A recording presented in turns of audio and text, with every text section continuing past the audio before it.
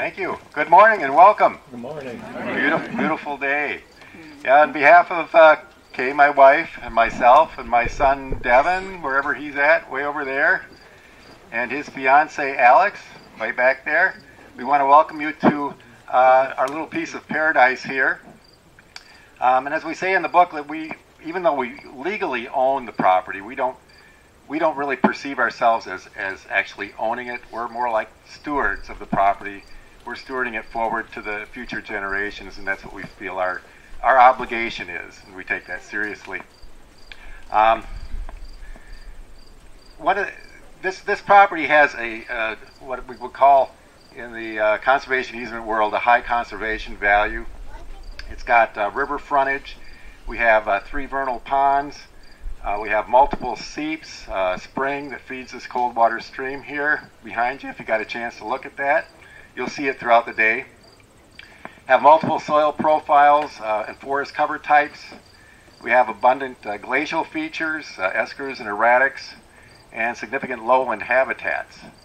And uh, so, you know, if you go to any of these tree farm meetings and, and that type of thing, the first thing they tell you that you need to do is to make sure you have a good access system to your property.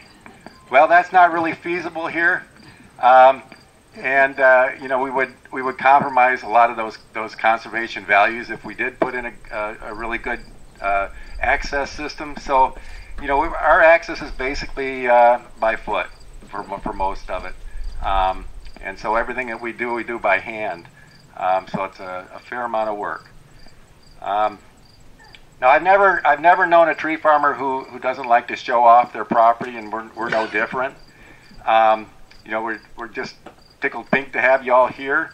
But I'll tell you, after that storm in December, uh, we got a ton of what I would call wet cement, and uh, it just it just really plastered us. Uh, we lost a lot in that age category between 10 and 30, 35 years old. And uh, in the in the weeks following that storm, as I took us two days to dig out to get out, um, you know, I looked at that and I said, "Boy, there's no way we can do this field day. It just looks like it looks terrible. It looks terrible." But then I started thinking, well, you're not going to judge us on on that. You know, the fact that we got the storm. You're going to judge us on what our response is to that. Um, but I'll have to tell you, at this point, we don't know what our response is going to be. Uh, you know, it, it, took me half the summer just to get the trails cleared. Um, and so now we're starting to get access back to the property. When the leaves fall, we'll be able to, to assess, you know, where we need to go from that point. Um, now, the topics that we're going to cover today don't necessarily uh, talk about some of the things that we've that we've done management-wise on this property and why they why they chose us for the outstanding tree farmer of the year. So I just thought I'd spend a few minutes and, and talk about that. Uh, in 1996 through 99, we had uh, the northern hardwoods thinned, and uh, John's going to be talking more about the, the history of the northern hardwood management in, in the property here. Uh, we do have a sale set up currently, uh, but it's it's difficult to get a logger that wants to come down in here. Uh, our neighbor had a, a, thinning job up up on top of the hill last winter, but the logger declined to come down this this far. So uh, that was our probably our best shot. Uh, we do a lot of timber stand improvement thinnings uh, for firewood and for my mushroom business, and so you'll kind of see what we're doing with the mushrooms down there.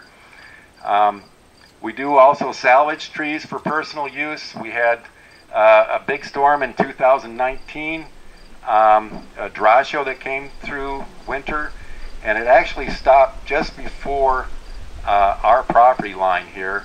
Uh, although we did have a, have some wind, wind throw up there, uh, so we salvaged those trees. I, I built my shroom shack from from salvaged basswood. Um, we had a lot of hail in that in that storm, softball size hail that caused a lot of damage there too. So we, we've been hit by a lot of storms the last last few years. Um, bush honeysuckle. Uh, I don't know if, if you all know what bush honeysuckle looks like but you saw a heck of a lot of it coming down Highland Road when you were coming down here this morning, whether you realized it or not. Uh, Ojibwa is kind of seems like it's kind of the epicenter of the bush honeysuckle invasion in Wisconsin. It's just all over the place here, and it was all over this property.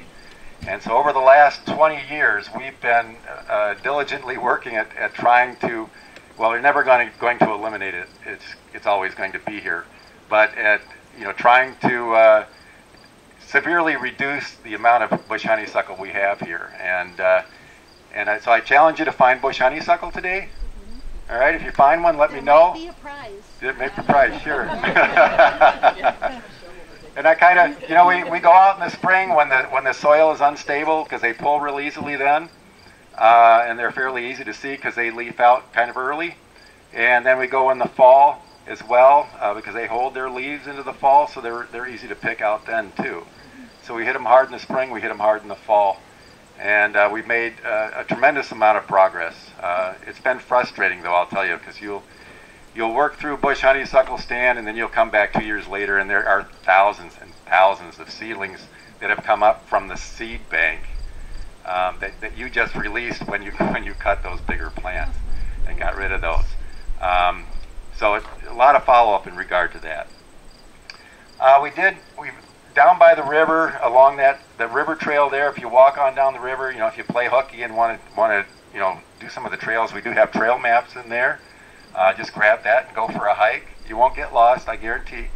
Um, but down along towards the river there, we was a lot of brush, uh, not bush honeysuckle brush necessarily, but a lot of a lot of different brush species. In fact, it was so thick you couldn't walk through it. You could crawl through it on all fours if you wanted to do that, but you couldn't walk through it.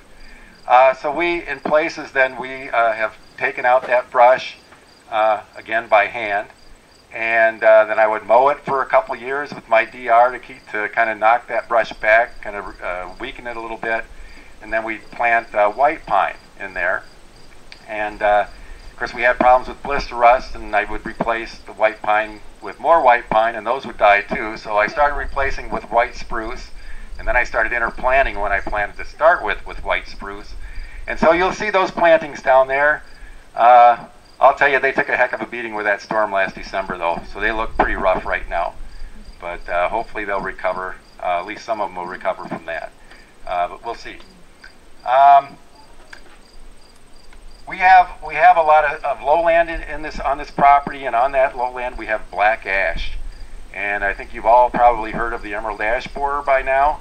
Uh, now I don't believe it's here. I haven't seen any evidence of it, but we're trying to figure out what we're going to do when it does get here. And so in this swamp over here, uh, I cleared off a, a, a, cleared a section of that that swamp area, and uh, with the idea of trying some things to see if I could get something to grow in there, other than black ash. So the first thing I did was I, I got some tamarack seed, and I seeded that in there, and absolutely nothing happened. And I talked with John Kotar. I don't know if many of, any of you know John Kotar, but he's uh, he's done a lot of a lot of work in Wisconsin on uh, habitat types. And he says, well, the reason it didn't work is because you won't find tamarack with black ash. Well, I didn't know that, so I learned something. You won't find tamarack with black ash, and you won't find black ash with tamarack. And so I tried something different. We uh, you know, I researched and well, I guess uh, literature searched I didn't do any tests, but I literature searched, and uh, I decided on hackberry. So I got some hackberry and I planted those down there. Well, it was a wet spring and they all they all drowned out. They didn't make it. So that failed. So now I, I know a um, a guy that owns a nursery uh, over by Park Falls, and uh, and we we've been talking and, and he wanted to try uh, this this tree and I've been wanting to try this tree because I talked with uh, a gentleman that, that teaches at the LCO University up there, a botanist there, and he says, "Why don't you try bald cypress?" You know, bald cypress is is a uh, you know it, it's it's thought of commonly thought of as a southern tree, but it actually grows fairly far north. And he's been playing around with it for about 10, 15 years, and he says it's doing really well. So why don't you try bald cypress? So I said, well, okay, where do I get bald cypress? You know, um, so I talked to my nursery friend, and he, he says, you know, I'd like to I'd like to see if I could grow bald cypress too. So he he got some access to bald cypress, and uh, he's he's growing those, and he's he gave me a few uh, to try out here and see how they work. So this summer I planted bald, cy- bald cypress down there. So either third time's a charm, or three strikes, you're out. Right, one, one of the two. Um, we do uh, we do have a, a fairly good uh, trail system here. You know, it's bumpy. Of course, the whole place is bumpy. There's not a there's not a level place, level spot on this place. So you always want to watch your feet. There's a lot of exposed rocks, roots, that type of thing. Uh, but we do maintain the trails. Uh, I mow them with my DR uh, in the summer, and uh, love to go cross country skiing in the winter. I see Tom Paulson there, Blue Hills Trails, um, and I didn't have them open this last winter because I spent my time with Tom working on Blue Hills, trying to get that one open. Um, but yeah, I love to ski, and uh, so if you get when you get on that geology hike, when you're on the backside esker there, that's my favorite run. So just imagine yourself coming down that, that stretch on skis. Um, a lot of fun. Um, I want to thank all of our speakers. We've got uh, Kali Sip, and she's a, uh, a, graduate of Northland College. She's now interning with the uh, with Cable Natural History Museum.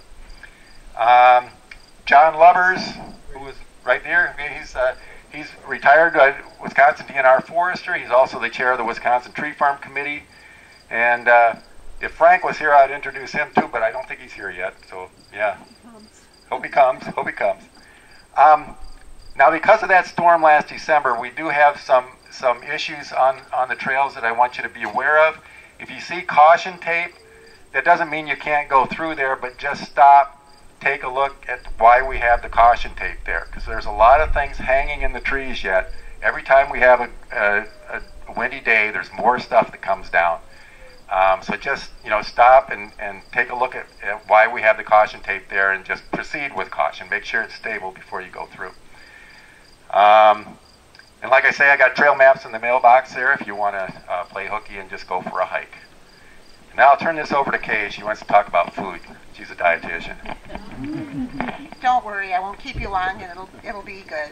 Um, anyway, I just wanted to tell you. Well, thank you all for coming today, and um, I share Gary's thoughts that, you know, we're stewards of this land, and part of what I like to do here is to do a lot of foraging and taking pictures of wildflowers. Um, I had to fight to get a picture of a trillium on the brochure. I don't know if I made it, but um, I've taken millions of them. But anyway, um, one of the other favorite things I do is collect ramp leaves, and I will have some ramp butter out for samples later on. So just you know look for that. Um, we're also going to be doing some maple syrup drinks, and I think um, uh, my son's fiance Alex and maybe a couple other volunteers are going to be bartenders. But don't worry, it's you know, perfectly fine. It doesn't have anything spiked yet. Not until after the field day, um, for those that want to stay.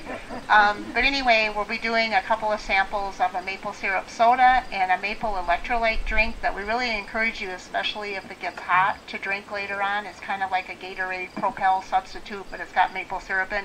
it fuels Gary through skiing season. So, um, so it has um, well, you know, done done a good job of that. So um, we encourage you to try those things and to just sit back and enjoy, and you know, feel free to wander off the path.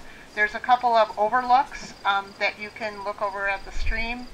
And if you aren't able to do a lot of walking, you know, and just want to hang around here and walk a little bit, you know, grab yourself a map and, and um, enjoy your day. Um, this is all about enjoying and relaxing and learning. So thanks for coming.